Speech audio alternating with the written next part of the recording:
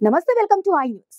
Andhra Pradesh రాజధాని అమరావతి వరకు రైలు మార్గం వేయాలని కేంద్ర ప్రభుత్వం నిర్ణయించడంతో ఇక ఏపీ ప్రజలు ఆనందం వ్యక్తం చేస్తున్నారు. ఈ రైలు మార్గం సాదాసీదా రైలు మార్గంగా కాకుండా దేశంలోని అనేక నగరాలను కలిపే విధంగా ఉంటుంది. ఇంకా అనేక ప్రత్యేకతలు ఈ రైలు మార్గంలో ఉన్నాయి. అతి తక్కువ సమయంలోనే ఈ రైలు మార్గాన్ని నిర్మించాలని ప్రభుత్వం టార్గెట్గా పెట్టుకోవడం ఈ ప్రత్యేకతల్లో ఒకటి.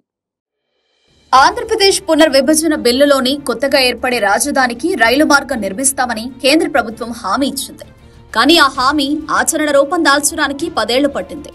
ఆలస్యమైనా సరే అమరావతికి రైలు మార్గం నిర్మించడానికి కేంద్ర ప్రభుత్వం నిర్ణయం తీసుకోవడం విశేషం.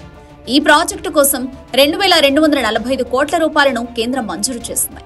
ఈ రైలు మార్గంలో నిర్మాణంతో అమరావతికి దేశంలోని అన్ని రాష్ట్రాలతో కనెక్టివిటీ వస్తుంది. వాస్తవానికి రాష్ట్రంలో రైల్వే ప్రాజెక్టులను పురోగతిలోకి తీసుకురావాలని సీఎం చంద్రబాబు ఇప్పటికే పలు సమీక్షలు నిర్వహించారు.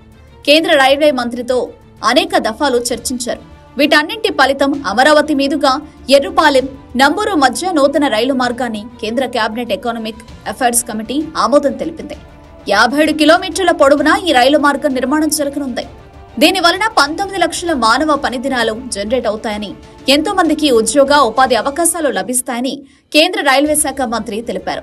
ఖమ్మం జిల్లా మధిరలోని ఎర్రపాలెం నంబూరు మధ్య ఈ రైలు మార్గం నిర్మితం కానుంది. రైలు మార్గంలో కొండపల్లి రిజర్వు అటవీ ప్రాంతం కలవకుండా జాగ్రత్తలు తీసుకున్నారు. పరిటాల వద్ద మల్టీమోడల్ కార్గో టెర్మినల్ నిర్మిస్తారు. దీనివల్ల సరుకు రవాణాకు అదొక హబ్గా మారుతుంది. పర్యావరణ హితంగా ఈ రైలు మార్గం నిర్మాణం చేస్తారు. అమరావతి రైలు మార్గంలో మూడు పాయింట్ రెండు కిలోమీటర్ల పొడవున కృష్ణానదిపై వంతెన నిర్మిస్తారు. కొత్తపల్లి వడ్డమాను గ్రామాల మధ్య దీనిని ఏర్పాటు చేస్తారు. హౌరా చెన్నై మార్గంలో ఇప్పటికే ఉన్న బ్రిడ్జికి సమాంతరంగా మరొక బ్రిడ్జి అందుబాటులోకి వస్తుంది.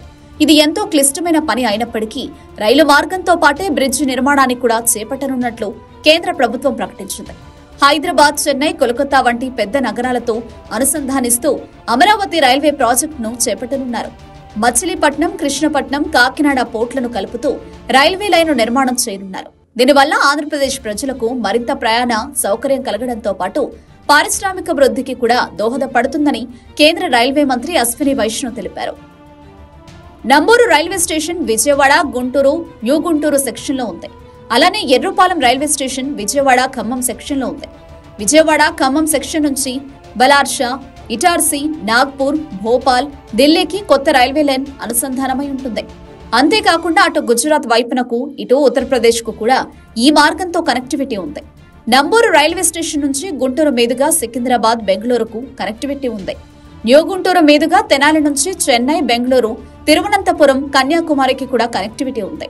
దక్షిణ మధ్య ఉత్తర భారత్ అనుసంధానం మరింత సులువు కానుంది. అమరావతిలో పరిశ్రమలు నెలకొల్పడానికి ప్రజల రవాణాకు దోహదపడుతుందని అశ్విని వైష్ణవ్ తెలిపారు.